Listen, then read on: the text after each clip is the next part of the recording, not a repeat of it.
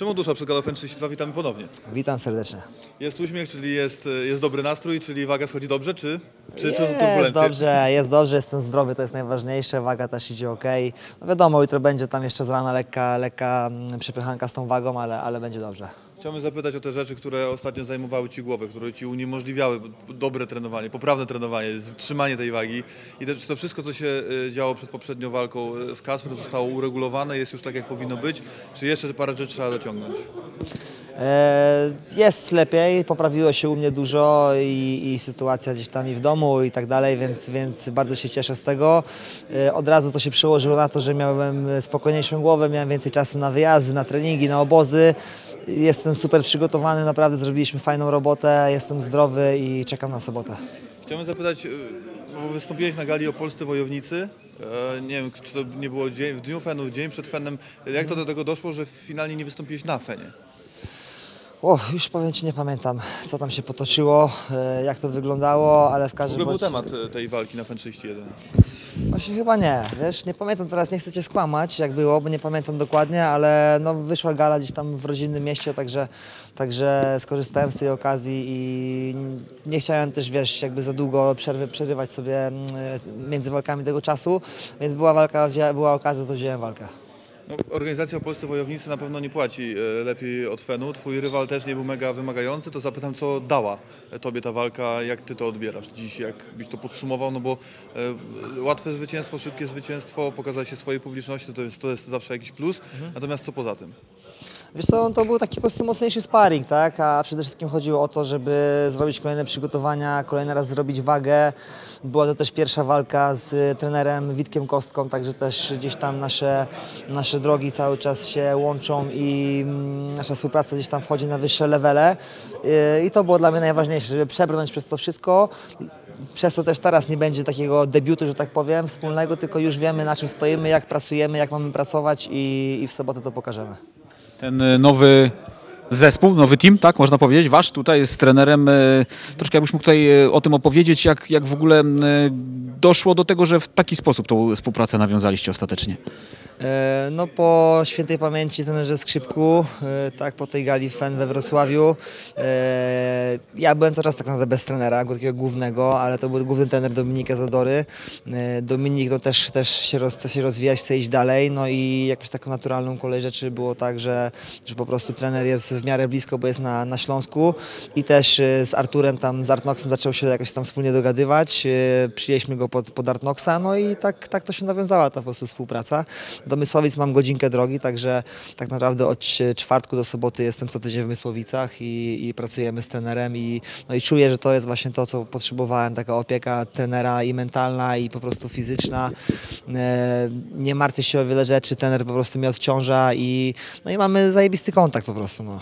To co takiego największego jest tutaj, jakim największym atutem dysponuje trener, że tak e, mocno jakoś e, ta współpraca ci się spodobała?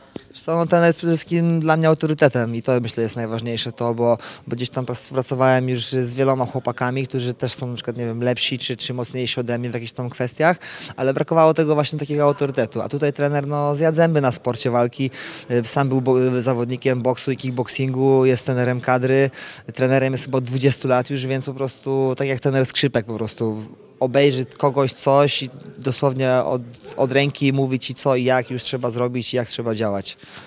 Rozmawialiśmy o tej twojej ostatniej walce. E, Ona wydarzyła się, była zwycięska, wydarzyła się po porażce na gali Fight Exclusive Night.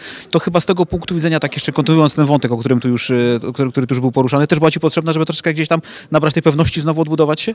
Dokładnie, dokładnie tak. No tak jak mówię, no to kolejny raz y, etap przygotowań, kolejny raz zbijanie wagi, kolejny raz jakieś tam mocniejsze spary, wyjazdy, obozy. To cały czas jakby integruje mnie i raz że z trenerem i z moją drużyną, a dwa daje takiej pewności siebie i teraz przyjeżdżając tutaj po prostu przyjeżdżam na luzie, nie bez takiej spiny, że jestem po porażce i muszę, muszę, muszę, tylko po prostu no, kolejna walka, kolejne wyzwania i po prostu lecimy.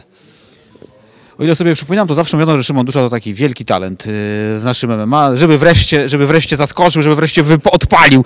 No to ty uważasz, że już z- trochę odpaliłeś, czy dopiero masz zamiar tak naprawdę odpalić, jeśli chodzi o to udowodnienie tego, że te wszystkie słowa nie były na wyrost? Powiem tak, jakiś tam płomień się zapalił w tamtym roku, fajne te dwie fajne zwycięskie walki. Yy, teraz lekko przygas i teraz mam nadzieję odpali już tak konkretnie. Mam nadzieję, że wiesz, zdrowie pozwoli kontynuować teraz tak jak w ostatnimi czasy właśnie od tego czerwca, od tej przegranej, jak zacząłem pracować z trenerem i tak dalej. Naprawdę bardzo fajne efekty zaczynam yy, mm, gdzieś tam odnosić i w przygotowaniu motorycznym i widzę, że ta technika stójkowa i parterowa jest coraz lepsza, także, także mam nadzieję, że ten apogeum tej formy jeszcze, jeszcze przede mną. To może warto odpalać, bo tutaj, żeby pay-per-view ludzie kupowali, to może warto im powiedzieć, że teraz wreszcie odpali, teraz powiedzmy to, to wtedy może się uda lepiej sprzedać. Co ty myślisz o tym? Odpali, odpali, na pewno ktoś głowę złapie na trybunach, także na pewno będzie tą galę warto obejrzeć i kupujcie pay-per-view, wspierajcie polski sport i wspierajcie nas, bo tego potrzebujemy bardzo.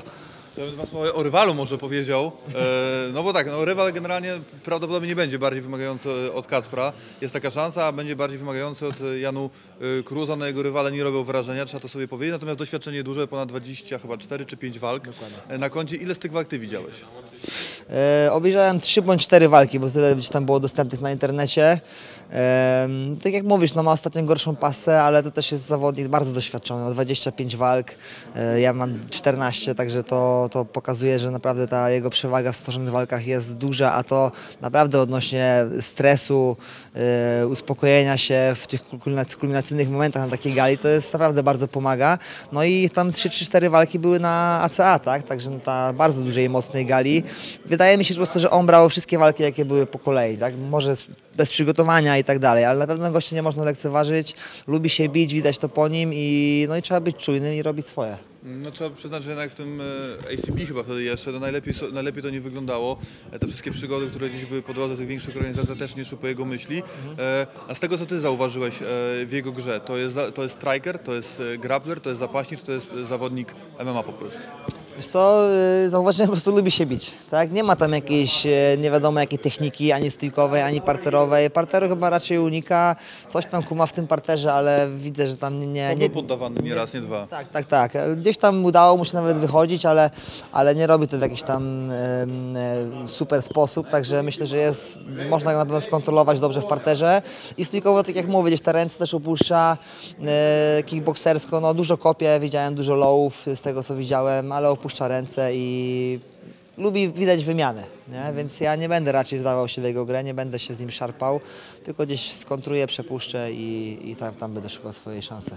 To na koniec jeszcze dwa słowa o Dominiku Zadorze. Kontrakt z Sven został e, zakończony. Nie wiadomo jaką formułę, nawet nie jaką organizację wybierze, e, więc chciałbym się ciebie zapytać, jak widzisz japońskiego Drawala w MMA? Czy jest już na to gotowy? Na MMA jeszcze nie jest gotowy, y, jeszcze musi troszkę, wiadomo, podszlifować. Wiem, że cały czas działa, robi zapasy, robi parter, tylko to też nie jest tak, tak jak on trenuje kickboxing 20 lat, to nie jest nagle tak, że zrobi pół roku, się potarza i, i będzie mógł wskoczyć, tak, ale, ale jest na pewno na, na dobrej drodze. E, wiem, że ma wiele ofert z różnych organizacji, w różnych formułach, także co wybiorą y, z Arturem teraz, to, to już od nich zależy. Wiem też, że są prowadzone rozmowy z Fenem, także jeszcze nie wszystko stracone, więc zobaczymy, jaki będzie finał. Ja nawet e, słyszałem, nie wiem, może to plotki, ale o największej organizacji kickbokserskiej na świecie. Tak, tak, tak. Tam już jest, y, jest jedną i z drugą tak naprawdę największą organizacją na świecie są rozmowy i to nie od, nie od wczoraj, tylko brakuje kogoś, kto to jeszcze wszystko dobrze zepnie, tak? Ale, ale myślę, że myślę, że no, Dominik jest, ma niecałe 30 lat, także ma jeszcze czas, żeby też pokazać się i jeszcze wyjść na, ten, na te najwyższe laury i levele w kickboxingu, a naprawdę jest jeszcze mi bardzo, bardzo dobrym zawodnikiem. No co Szymon, no my czekamy na taką formę, jaką pokazałeś w walce z e, Tymkiem Łopaczykiem, e, na takiego Szymona. Pokaż, e, co potrafisz, pokaż, na co cię stać i przede wszystkim pokaż wszystkie swoje umiejętności. Niech ta głowa w końcu je uwolni i niech to będzie prawdziwe show w klatce, bo kibice, którzy wykupią pay-per-view, na pewno będą na to czekać. Zapewniam Was, że tak będzie. W sobotę coś dostanie w cymbał. Dziękuję bardzo. Pozdrawiam.